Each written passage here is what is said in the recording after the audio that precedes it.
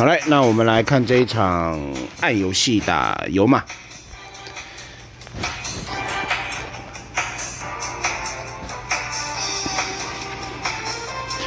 好，那对手直接先覆盖两张牌，来，我一个月光翠鸟，利用月光翠鸟的效果，从手牌舍弃我们的月光黄釉，检索一张月光柔和。好，黄釉自行起跳之后，直接发动月光融合，大姐出来吧！谁？大姐在场，希望无穷，想指定。但是看到对方是这个有马，不免还是有点小担心。他妈的，后补雷又不会出来闹。好，来利用月光百兔，想要弹对方，想说骗对方会不会开，就对方没开，来一个分段之臂，来三千。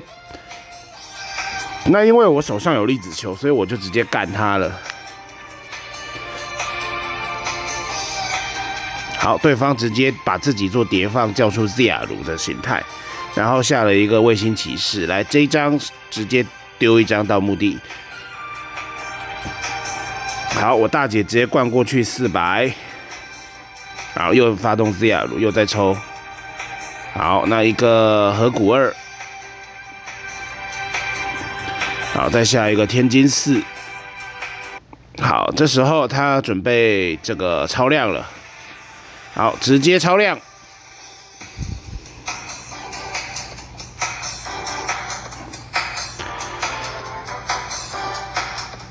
好，那这边再超量，哎，就跳出我们的下三角。好，上三角原本差点把我灌爆，好险我的这个粒子球救了我一命。好，来这边直接又发动月光融合，再跳第二张月光二姐猫姬，谁？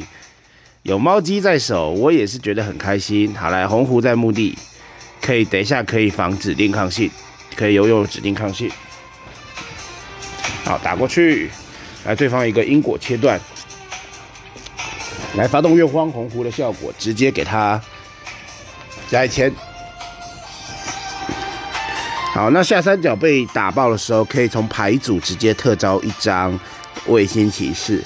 然后卫星骑士和古二又拉天津市，天津市再解锁一张，干资源不断，烦死了。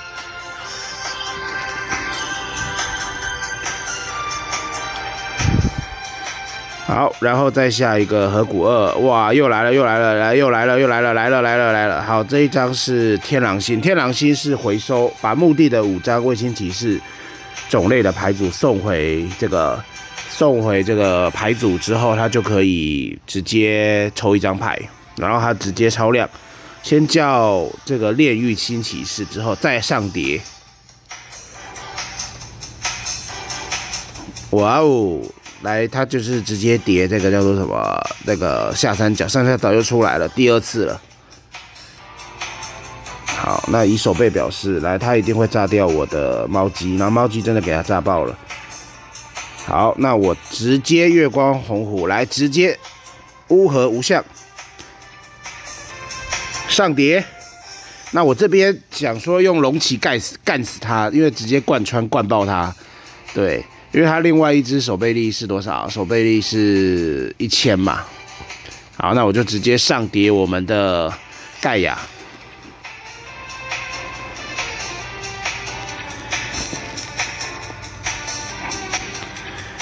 好，直接贯穿他，哇！结果竟然有圣枪啊！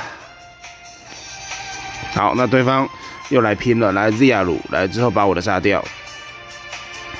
好，我再神抽一个翠鸟，来利用翠鸟来直接发动月光融合。好，这边我不演喽，各位看好喽，来发动翠鸟的效果，来。这边不演了，狂战士之魂。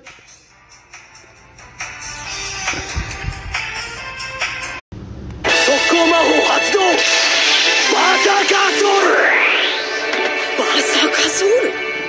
手札を全て捨て、効果発動。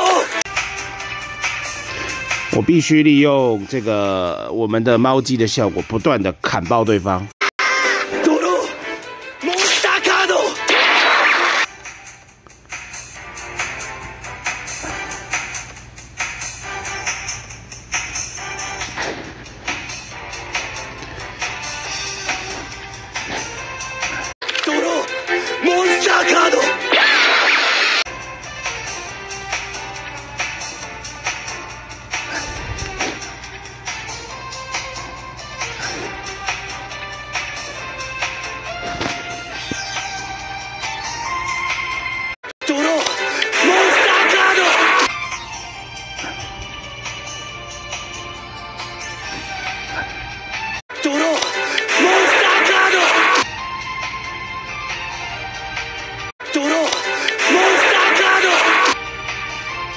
最后一集。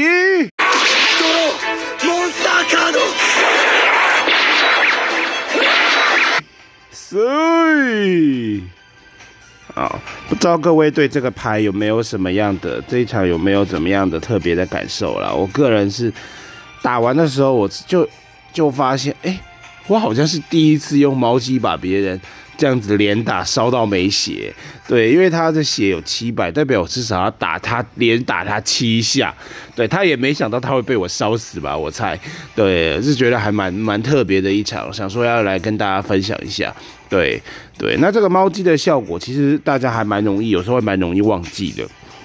一回合一次，可与我方主要阶段一释放我方场上一张除此卡以外的月光怪兽，并发动此回合对手怪兽不会因各自仅一次的战斗被破坏，也就是说，一张怪可以打两下，那就是扣两百啦。那此卡对对手全部怪兽各发动一次攻击，可以打两次。对，所以所以只要场上有怪，基本上猫机应该应该就可以一定可以清得掉了。如果你有发动这个效果的话，所以猫机跟虎机根本就是一个超完美搭配啊。虎机就是负责扛这个这个效果抗线，那猫机就负责清怪，对，还有防战破，对，难怪那个啊，难怪在五月的时候，这个月光就要被限了，对，所以它才会让你，但是我现在没有那个没有那个演武那个天机那一张卡，我一张都没有，所以我觉得我的月光直接居居了，对啊，好想好想继续玩大姐哦，大姐他妈超性感。好，那我们今天就到这啦。我要来去吃我的这个这个豆浆大王的水饺，不是水饺，煎饺了。